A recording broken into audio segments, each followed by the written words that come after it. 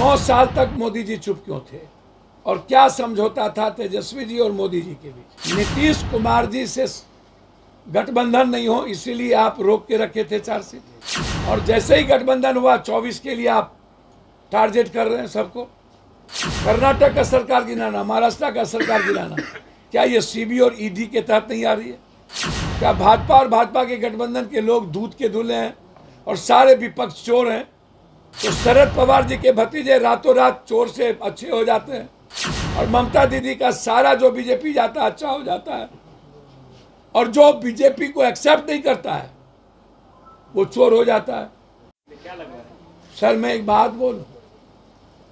देखिए, कानून क्या करेगी वो जाने।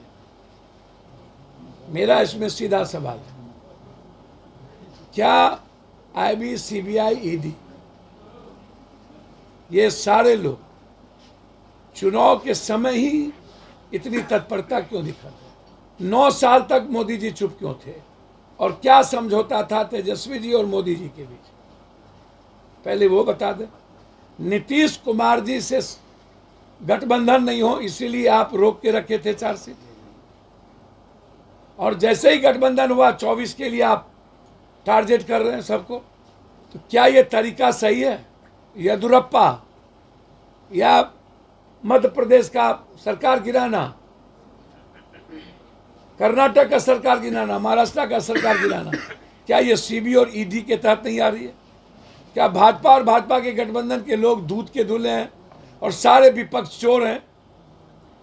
और चोर हैं तो शरद पवार जी के भतीजे रातों रात चोर से अच्छे हो जाते हैं और ममता दीदी का सारा जो बीजेपी जाता है अच्छा हो जाता है। और जो बीजेपी को एक्सेप्ट नहीं करता है, वो चोर हो जाता है। तो 25 तारीख को कोर्ट में जाएँगे, कोर्ट तय करेगी क्या होना है, उस पर मेरा नहीं। लेकिन जिस तरीके से सीबीआई का जो तरीका है, उसका हम निंदा करते हैं और उस वो सही तरीका नहीं। राहुल गांधी से माफ़ी की मांग हो रही है। राहुल गांधी से माफ़ी की मांग हो रही है सर। राहुल गांधी सर क्या तेजस्वी यादव की और लालू यादव के पास इतना संपत्ति है? पाँच करोड़ गिरिराज सिंह के पास नहीं था। क्या भारत के और लोग नहीं थे? और नहीं थे? सारे लोगों के पास अब यूओ की जाँच सारे मंत्री से, नीतीश कुमार जी डर किससे रहे? यूओ की जाँच बीजेपी की सत्रह साल रही, उसकी जाँच क्यों नहीं कर रहे? कौन नेता है जिसके पास पैसा नहीं है? जिसका पैसा, ज़मीन, मॉल, शराब, दुनिया के सारे चीज़ों में लगे हुए कौन बड़े पत्रकार है जिसके पास पैसा नहीं है? कौन? कौन बड़ा घराना है कॉर्पोरेट जिसका अच्छा माला तलमाला बिल्डिंग है?